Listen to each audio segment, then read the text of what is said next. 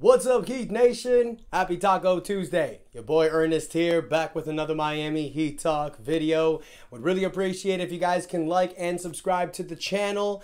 Now, let's get ready to rock and roll on another Miami Heat Talk adventure. Uh, I do apologize for not posting anything yesterday, you guys. Really wanted to, uh, but unfortunately, um, as you guys knew, last week I was suffering from a virus that I caught from my daughter. Unfortunately, my youngest daughter caught it, so we were with the family. Sunday, I didn't post anything because it was WrestleMania. I was at a WrestleMania party. Uh, definitely want to give a shout out to my man Cody Rhodes for finishing his story and winning the WWE Undisputed World Heavyweight Championship. Congratulations to Cody Rhodes.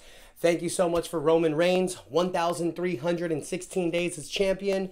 One of the most incredible runs we've ever seen. I know we don't talk about wrestling on this channel, you guys. I do want to translate, transition towards it sometime because, especially the era that WWE's running on right now, it is fire as hell. Uh, but that's for another time. What are we talking about today? Miami Heat basketball. And I started with the Cody Rhodes and Roman Reigns thing, you guys, because I wanted to start with some positivity. Because as we know, things have been sucking donkey dick lately for the Miami Heat. My apologies for the language, but we blew it. There's no other way to say it. Sunday, the Miami Heat had the perfect opportunity. We all we needed to do was defeat the Indiana Pacers and get the sixth seed. That's all we had to do. But we failed. The Miami Heat lost to the Pacers by two points, 117 to 115. The Heat go down to a 43 and 35 record. Not only did we lose the opportunity to get the sixth seed, but with that loss, we've fallen down to the eighth seed because Philadelphia won. Philly's been on a roll. They've won five straight games. Now, look, guys, um, I know that there was a recent um, call by the NBA that was saying that the foul that Tyler Herro gave to Myles Turner the last 17 seconds was not a foul. That was when the uh, Miami Heat got the game down to one when Tyler hit that three. Um, so there shouldn't have foul, there shouldn't have been a foul called. We could blame it on that. We could blame it on the fact that Jaime Jaquez and Kevin Love and Duncan Robinson had bad games. We can blame it on the fact that Terry Rozier got injured and he wasn't able to play. We, we can blame it on a lot of things, you guys, but in, in all honesty, the Miami Heat just blew it. Jimmy Butler, Bam Adebayo, Nikola Jovic, Caleb Martin, and Tyler Herro do just enough. All of these players gave you 18 points or more. The Heat should have won this game. It was because you were bullshitting in the beginning of the game. Indiana caught a lead, they were up by double digits, and you waited until the fourth quarter to get a run. None of that would have happened had you took control at the beginning of the game. Now, I, I know that people are asking, where's playoff Jimmy? I think Jimmy played great in this game. 39 minutes, 27 points, 8 assists, 7 rebounds. I mean, it's good enough. Bam Adebayo gives you 20 and 12. Good enough. It's just the team as a unit did not get the job done. You get a little better effort from Kevin Love and Jaime Jaquez Jr., you win. Haywood Highsmith in 19 minutes scores anything we win. It was just a bad game. Now, I'd like to put a positive spin on everything, you guys. I'd like to sit here and say that I think that he can still get the sixth seed. We're two games down from the sixth seed with only four games left in the season. I'm going to be honest with y'all. I said it last week, and I'm going to stick by what I said. I don't think there's a possibility that the Heat can get the fourth, uh, the sixth seed. You're only three games down from the third seed. Had some of these games that you lost that you should have won we would have been sitting at the third seed right now. But it is what it is. Apparently, the Miami Heat like to do it the hard way. Jimmy Butler even said it in the post game that if they're a play-in team, they're a play-in team. I'm not going to use last year as an example. I'm not doing that anymore. I, I know the Heat were a play-in team last year as an eighth seed. I know we had that magical run. I know we had the Cinderella story, and I know we went to the NBA Finals. But chances are for Lightning to strike twice very slim. Very slim. Do I think that he can still make a run in the playoffs as a seventh or eighth seed? Absolutely. I've said it before, y'all, and I'm going to say it again. I will never count this Miami Heat team out. But the question isn't, do I think that he can go far? The question was, do I think they can get the sixth seed? And I know you got those last two games of the year against Toronto, and those are easily winnable games. You got a game against Atlanta tonight, you got a game against Dallas, so you have to win these next four games if you want a chance of getting out of the play in. There is no margin for error.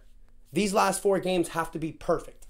And even though if the Heat win these four games, it's not likely they're going to get the sixth seed. They're two games down from Indiana, and Indiana holds the tiebreaker. The Heat blew it. There's no other way around it. Now, the only positive spin that I can put on this is that we finally are seeing a healthy team. You're seeing Tyler Herro play great out there. But we don't know what's going on with Rozier. Rozier's got a neck crank. That could be a few games. He's questionable for tonight. I'm sure he might play. He should have taken that game off against Indiana, but he wanted it. I will give credit to Terry Rozier. He wanted the sixth seat. You could tell that the Heat were gunning for it, y'all. But what do we have to look forward to right now? We got the playoffs around the corner. The Heat are, are going to have to get in the play in. No rest. You got to go with this team. You got to go hard and you got to win. The only hope, the only hope right now for this Miami Heat team is to finish seventh.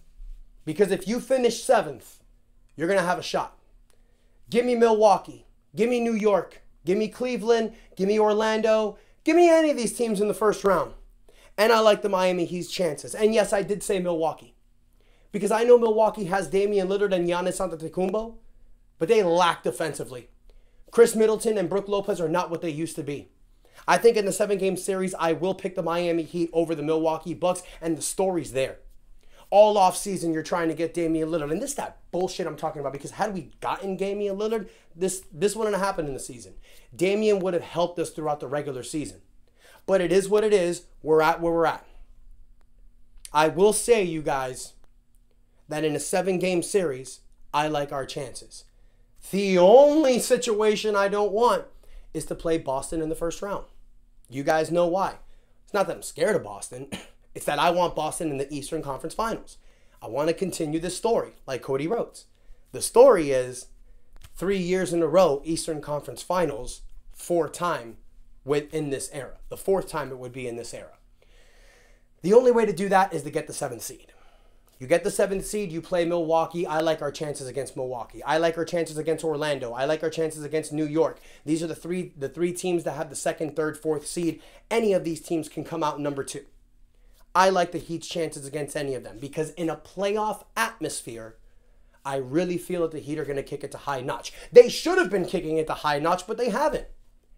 We can complain, we can bitch, we can moan, we could talk about trading players, we could talk about getting rid of Jimmy Butler and Tyler Herro, but my point is why? Why do any of that? Season's not over. We can't trade players now. There's no need to complain. The only thing that we can do right now, ladies and gentlemen, is sit and wait. Because what we need to wait for is to see what this team can do. Because I have said it before, this is the last year.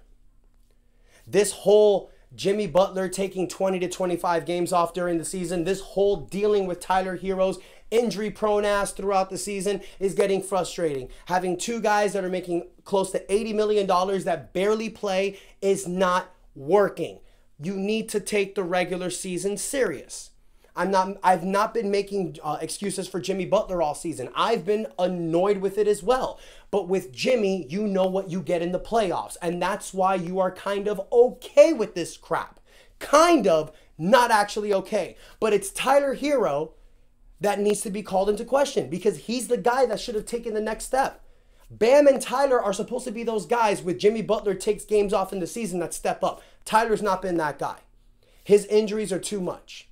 So we need to see what this team does in the playoffs.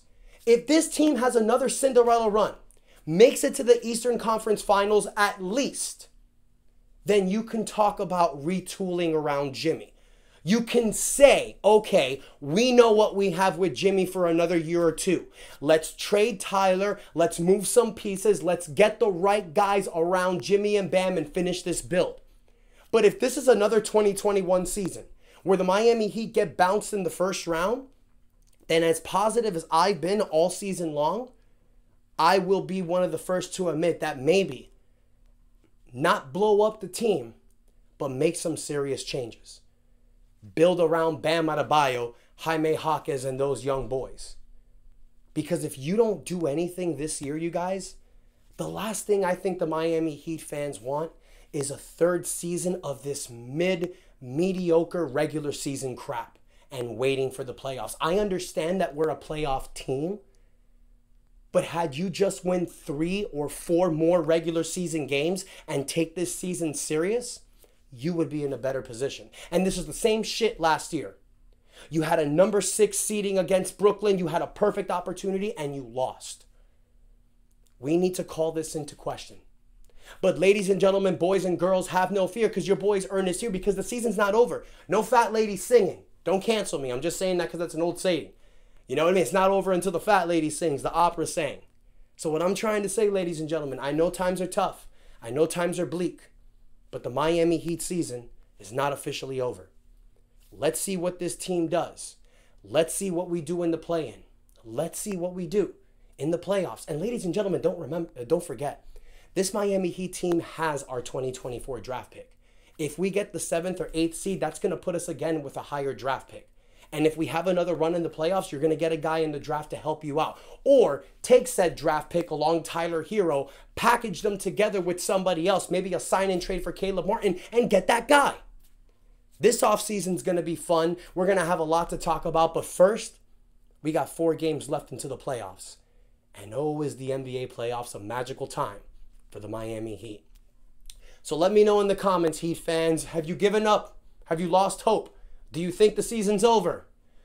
Or do you still think we got a chance? I know we don't have a chance for the uh, for the sixth seed. We had, they, they said we have a 14% chance. I don't see it. But I still think in the playoffs, that he can make some noise. Let me know in the comments what you think, guys. Don't forget to like the video. Don't forget to subscribe to the channel. Would really appreciate your support growing this channel. Thank you so much for riding with me during the season, you guys. For those that have been positive with me and that have supported me, thank you. For those that have trolled and hated, thank you. Keep going. We ain't done. We got a lot of basketball left to play. Let's see what we do tonight against Atlanta. Let's take it one, one game at a time, and that is enough said. Stay positive, Heat fans.